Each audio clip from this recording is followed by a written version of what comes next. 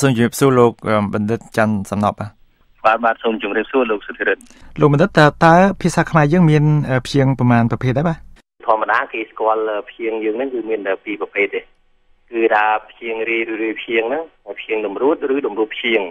ហើយអាព្យាង្គចុងក្រោយថាតម្រួតព្យាង្គឬព្យាង្គតម្រួតហ្នឹងគេហៅថាព្យាង្គផ្សាយជើងក៏បាន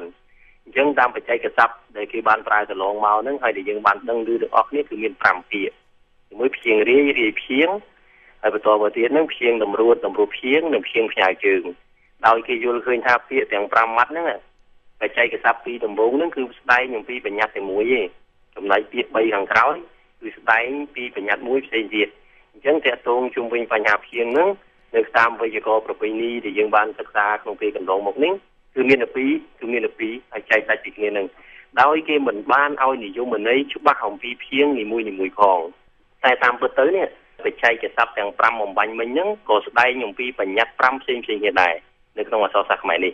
មិនមែនស្ដែងតែពីបញ្ញត្តិ2ដោយអ្វីដែលយើងបានរៀនសូត្រនៅតាមសាលា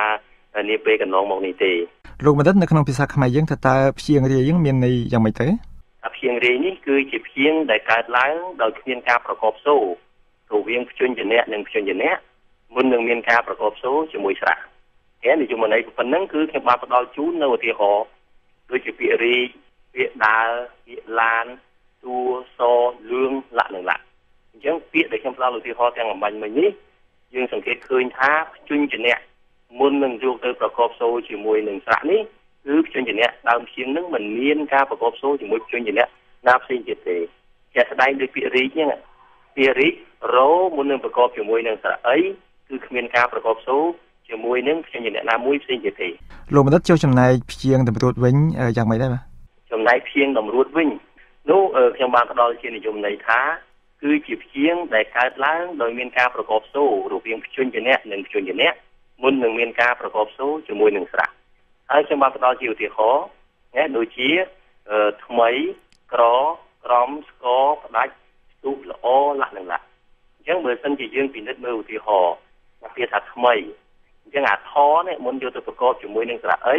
អាថហ្នឹងវាមានការប្រកបសូរជាមួយនឹងអឺម៉ូតែថជាងម៉ូថ្មថ្មឲ្យបានយកទៅប្រកបជាមួយនឹងស្រៈអីចេញពីថាថ្មីបាទលោកបណ្ឌិតបានមានប្រសាសន៍ថាព្យាង្គមួយប្រភេទទៀតគឺព្យាង្គផ្ញើជើងតើតើព្យាង្គផ្ញើជើងវាខុសពីព្យាង្គតម្រួតយ៉ាងម៉េចទៅបាទព្យាង្គផ្ញើជើង គឺជាព្យាង្គដែលមានលក្ខណៈដូចព្យាង្គរាយដែរតែមានជើងព្យញ្ជនៈមួយដាក់ផ្ញើនៅក្រោមព្យញ្ជនៈចុងព្យាង្គ ហើយជើងព្យញ្ជនៈនោះគ្មានការប្រកបសូរទេឧទាហរណ៍ពាក្យថាពុនពាក្យថាអង្គយើងសរសេរអនិងងជើងកោពាក្យពុំយើងសេពោដាក់ស្រឧនិងម៉ូជើងពោពាក្យមុនពាក្យចិត្តលះនឹងលះឥឡូវខ្ញុំលើកឧទាហរណ៍ដូចជាពាក្យថាពុនអញ្ចឹងយើងសរសេរពាក្យពុនដោយសូពោនិងណូ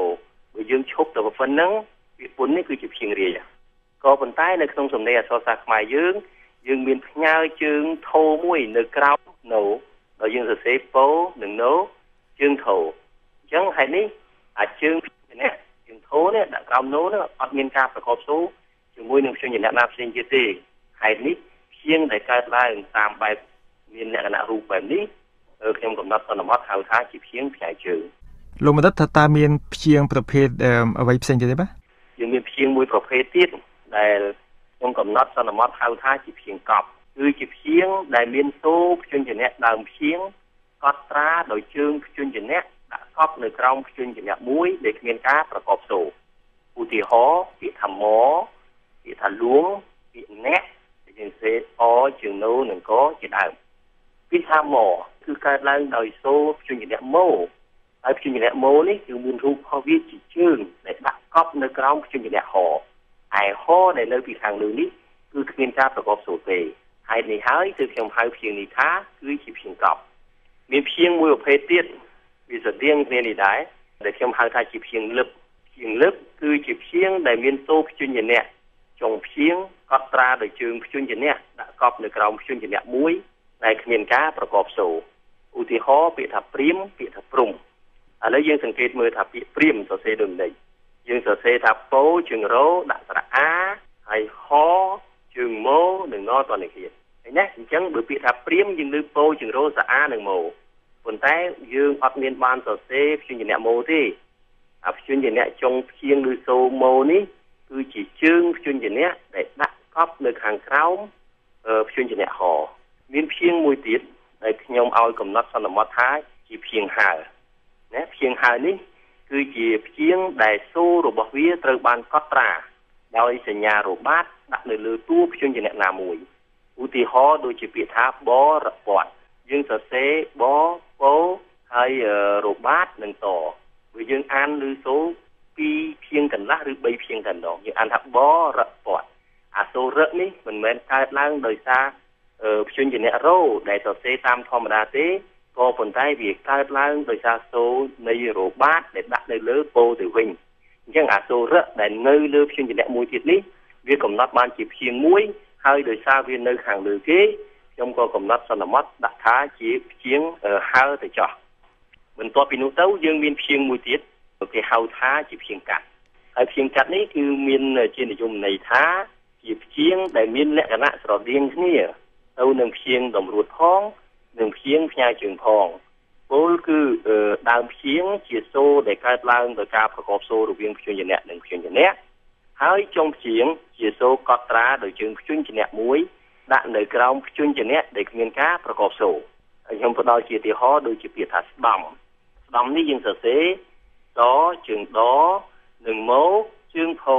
អញ្ចឹងបើយើងមិនគិតអំពីជើងផោ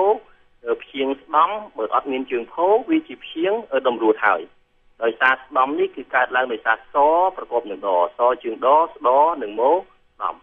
អញ្ចឹងព្យាង្គដែលកើតឡើងដោយមានការប្រកបសូគឺជាព្យាង្គតម្រួតដូចខ្ញុំឲ្យនិយមន័យខាងដើមអញ្ចឹងដោយឡែកព្យាង្គស្ដំនេះវាមានជើងភ្ជួរផោមួយទៀតដែលផ្ញើនៅក្រោមព្យញ្ជនៈមកហើយនេះពាក្យថាស្ដំដែលយើងសរសេរសជើងដនិងមូជើងផោ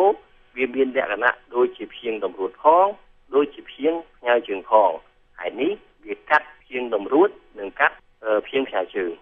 បាននេះចំនួនព្យាង្គបើខ្ញុំសរុបទៅយើងមាន7ប្រភេទផ្សេងគ្នាដែលខ្ញុំបានរៀបរាប់បំបញ្ញមិញនេះខ្ញុំសរុបឡើងវិញគឺទី1យើងមានព្យាង្គរាយ